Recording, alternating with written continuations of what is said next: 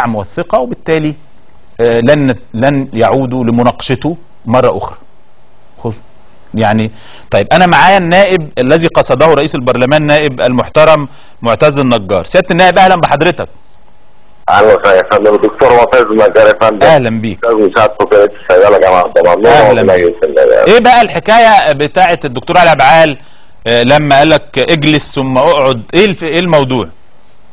لا يا فندم أنا بعد ما السيد معالي آه، آه، رئيس الوزراء ادلى بالبيان أنا وقفت حاجة وديت تتعهد بعدم زيادة الأسعار تمام. قال لي اجلس طبعا أنا المفروض برضه بيني وبين حضرتك.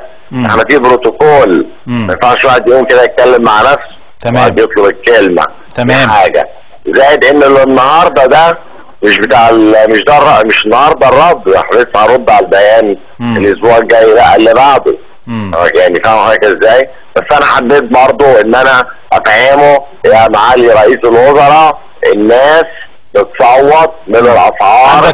والناس مش تا- تاكل فارجوكم. يعني إيه حاولوا بقدر الامكان مم. عدم الت- التعهد وعدم زياده الاسعار طب سيادة النائب. حضرتك قلت معلومة مهمة هل يعني الأسبوع اللي بعد القادم سيأتي رئيس الحكومة لكي تناقشوه كلجان في بيانه آه طبعا. يعني هل لا أنا بتكلم على ليس ما تتمناه حضرتك وأتمناه أنا ولكن على البروتوكول آه، اللي أعلنه رئيس البرلمان هل هو قال لكم أنه بعد الأسبوع بعد القادم هيجي رئيس الحكومة لكي تناقشونه في هذا البيان؟ اللي بعد إيه؟ بعد إيه يا فندم مش سامع الأسبوع اللي بعد. القادم أنا معلوماتي أن في أجازة برلمانية. لا إزاي؟ الأسبوع الجاي لا اللي بعده. آه. الأجازة البرلمانية ال- ال- اللي بيحددها واضح حضرتك إزاي؟ اللي بيحدد ال- البتاع البرلمانيه دي. امم آه، دي احسن ايا ما كان مش مهم إمتى أجازة لكن آه، آه، المعلومة أكيدة إنه رئيس الحكومة هيجي الأسبوع اللي بعد الجاي عشان تناقشوه في بيانه يا فندم؟ 100% معلومة يا فندم، أكيدة. عشان نناقش بيانه إحنا وزعوا علينا برنامج الحكومة. لازم نقراه. طيب سؤال تاني يا سيادة النائب. آه أنتوا هتعلق إعطاء الثقة لغاية المناقشة أم أنه اليوم كما قال رئيس البرلمان هو منح الثقة ثم يأتي تفصيلا بعد ذلك مناقشة البيان؟ لا طبعا يعني هو النهارده خد. الثقة ولا ما خدهاش؟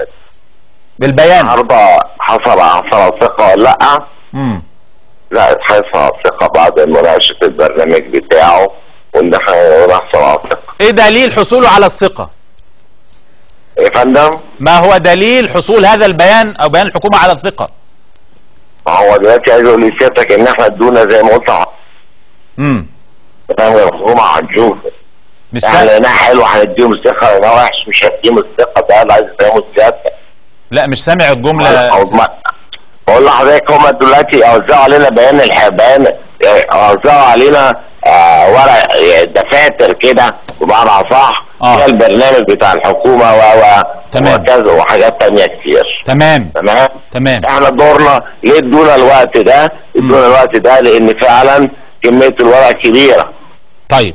يعني سؤال البرنامج مكتوب بشكل مفصل تقريبا جامد. طيب يا فندم عدد مع-. مع- معلش يا دكتور معتز استحملني. لا تحت كلام حضرتك معناه أن النهارده بيان الحكومة لم يأخذ الثقة من البرلمان وإنه سيتم مناقشة وطبعا طبيعي إن يتقري لأنه طويل خلال الأسبوعين القادمين. بالظبط معنى كلام حضرتك قانونا إن الحكومة ما خدتش الثقه وبالتالي دستوريا كل قراراتها باطلة. ده الكلام ده اللي أنا بستنتجه منطقيا. أيوه يا فندم بس بيبقى في بقى كده يا عمل يعني مفيش داعي برضه إن إحنا إيه يعني مفيش داعي إن الدنيا تقف فاهم حضرتك قصدي ولا لأ؟